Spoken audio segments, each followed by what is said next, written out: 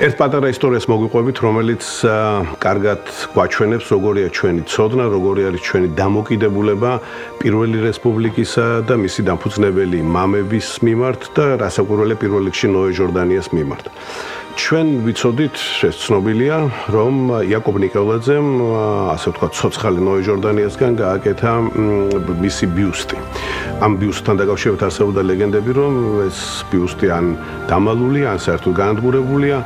იყო ასეთი ისტორიაც, რომ იაკობ ნიკოლაძემ გადამალვის მიზნით თავისი სახლის სარდაფში, მიწაში დამარხა ეს ბიუსტი, რომ გადარჩენილიყო, ამიტომ 2016 წელს, აი 26 მაისის წინადღეებში, მივედით იაკობ ნიკოლაძის სახლ-მუზეუმში და მის შვილიშვილ გურამ ნიკოლაძეს ვთხოვეთ, რომ იქნებ გაგვეთავისუფლებინა სარდაფი და გვეპოვა ეს ბიუსტი.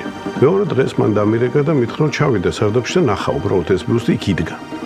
ანუ თითქმის 100 წლის განმავლობაში არავინ არ მიაქცია ყურადღება, რომ ეს ბიუსტი იქ დგას. ბოლშევიკებმა ყველაფერი გააკეთეს იმისათვის 70 წლის განმავლობაში, რომ ჩვენი მეხსიერება აი ამ პირველი რესპუბლიკის შესახებ წაშლილიყო და სამწუხაროდ დღეს ფაქტობრივად გვხვდება, როგორც არქეოლოგებს ისე მუშაობა, რომ აი ეს ადამიანები, ეს სახელები ჩვენ დაუბრუნოთ ქართულ ისტორიას.